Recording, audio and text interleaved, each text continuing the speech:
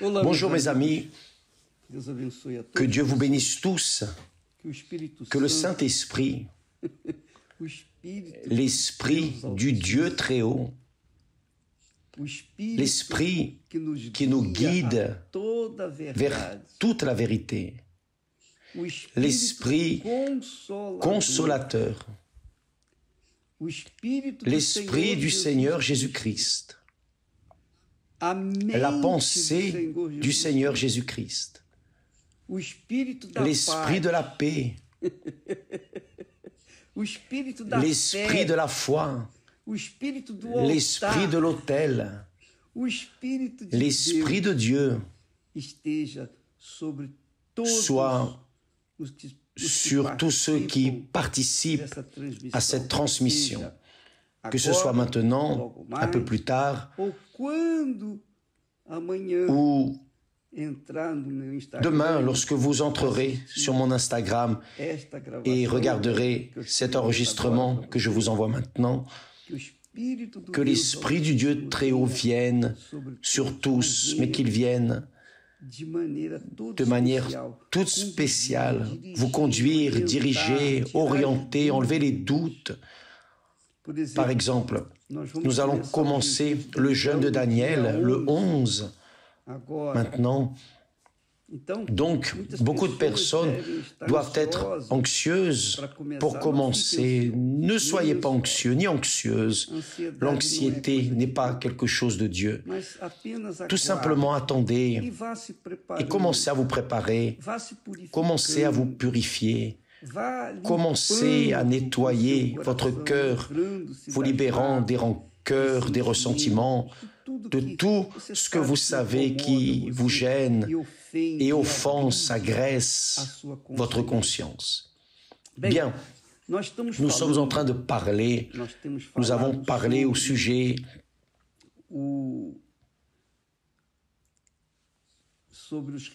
des rejetés, J'aime parler des rejetés, ceux qui souffrent de bullying, ceux qui sont méprisés, méprisables, ceux qui se considèrent le détritus de ce monde, Dieu nous a choisis. Dieu m'a choisi. Dieu vous a choisi. Aussi, mes amis. Seul celui qui a déjà été méprisé, ainsi laissé de côté, lésé, c'est de quoi je parle. Mais Ce que j'ai pour vous aujourd'hui, c'est ça. Ceux qui accompagnent Le feuilleton roi, la série des rois, vont comprendre, vont mieux comprendre lorsqu'arrivera la partie de David qui parle de David. Saviez-vous que Davi, que David, probablement, la Bible ne dit pas cela, mais il est fort probable, fort probable que David um ait été un enfant bâtard. Il était fils d'Isaïe avec une femme quelconque, une femme dont le nom n'est pas dans la Bible. Son nom n'est pas dans la Bible.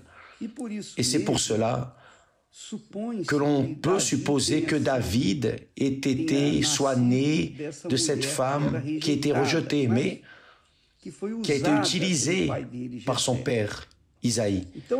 Donc nous comprenons, on peut comprendre um qu'il y avait un problème avec la mère de David. Son père, Isaïe, s'est marié avec une autre femme outros et a eu d'autres fils. Mais les autres fils, frères de David, de- du côté de son père, ne l'ont pas accepté.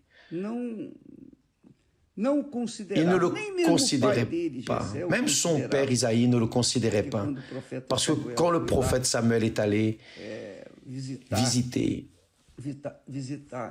Isaïe, il a appelé les enfants, il a ordonné de réunir les enfants, et. Isaïe a ignoré E David. Et Samuel, le prophète, disse, "Não, tem- a dit, tu n'as personne não?" d'autre, non? Et Isaïe a présenté les plus beaux fils, les plus grands, les plus forts, mais Dieu a dit au prophète Samuel, Dieu ne voit pas comme les hommes. L'homme voit avec les yeux physiques et Dieu voit avec la pensée, l'intellect. Dieu voit le cœur. E Et Dieu a trouvé um seu David, un homme selon son cœur. Mais ce qui est intéressant, que nous comprenons, c'est que um- David um était un rejeté. Era Il um était un exclu de la famille. 50, Dans la prière du psaume 51, du psaume de David, il le dit, après avoir péché et considéré son péché, s'être repenti, il a dit, Ô Dieu, aie pitié de moi dans ta bonté. Selon ta grande miséricorde, efface mes transgressions. Et il demande, il implore, il supplie Dieu sa compassion pour qu'il puisse être libre de sa transgression, de son péché. Et il le dit, car je reconnais mes transgressions et mon péché est constamment devant moi.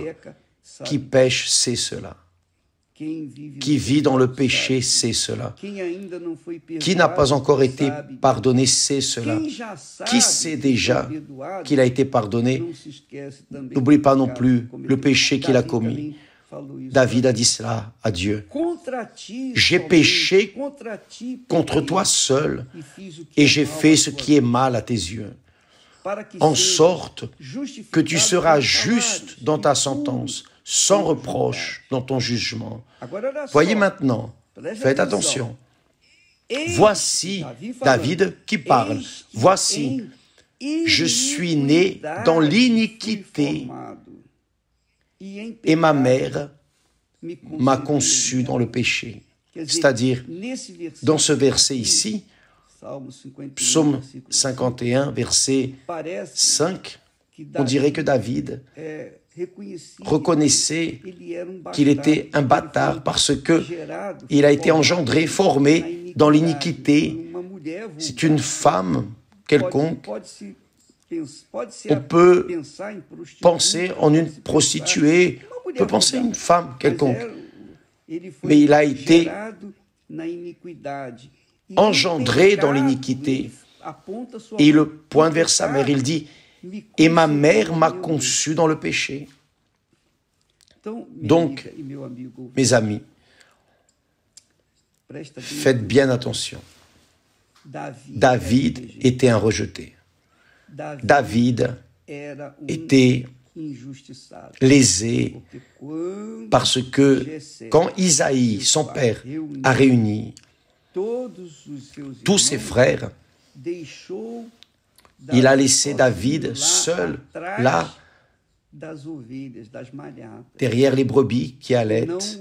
Il ne l'a pas considéré. Il ne l'a pas amené pour le présenter au prophète, jusqu'à ce que le prophète, dirigé par Dieu, par le Saint-Esprit, l'a fait venir. Tu n'as pas d'autre enfant, d'autre fils? Non, ah oui. Isaïe a dit, j'en ai un seul.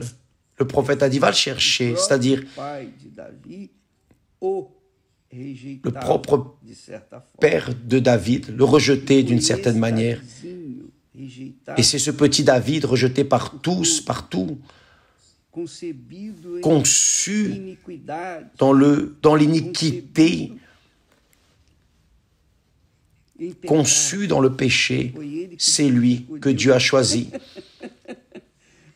C'est lui que Dieu a choisi.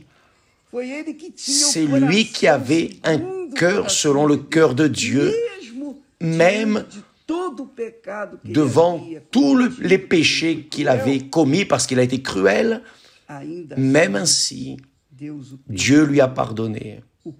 Dieu l'a considéré parce que malgré toute l'impureté qu'il a commise, il était un homme si humble, si humble,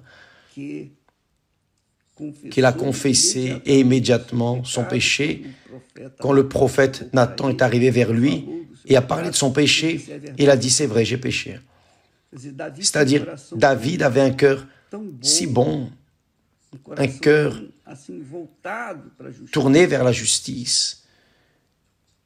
Il était tellement de Dieu qu'il n'a pas défendu son péché. Au contraire, il l'a confessé au même moment. Il a affronté les difficultés, il a affronté tout l'enfer qu'il a dû affronter, mais il est resté ferme. Réellement, j'ai péché. Je confesse que j'ai péché.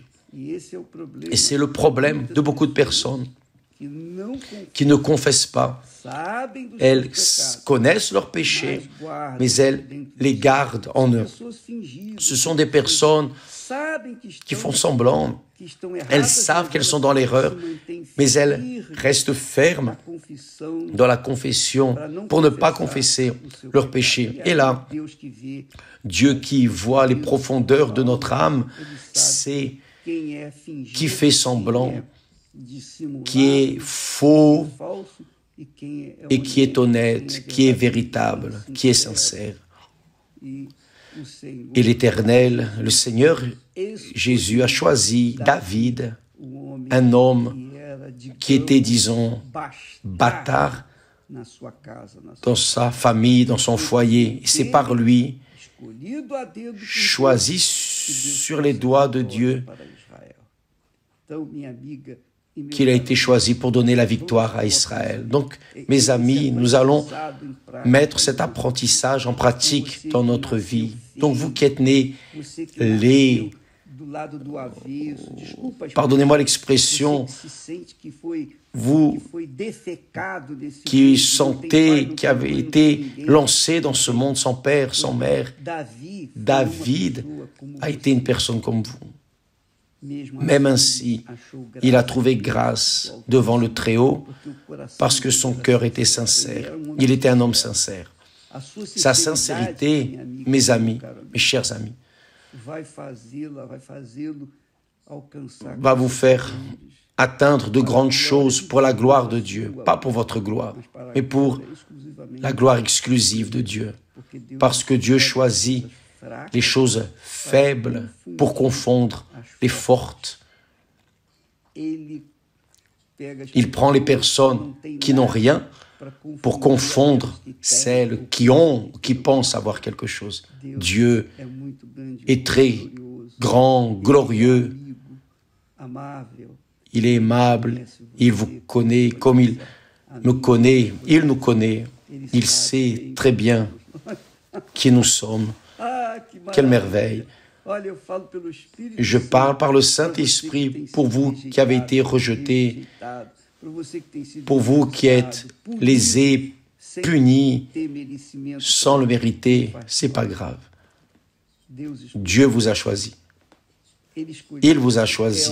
Bien sûr que ce choix de Dieu ne veut pas dire que maintenant, bon, je vais attendre que les choses arrivent. Non, vous allez devoir chercher. Il vous a choisi pour révéler la foi. La foi que vous avez ici maintenant a été donnée par le Saint-Esprit pour arriver jusqu'à son Fils Jésus.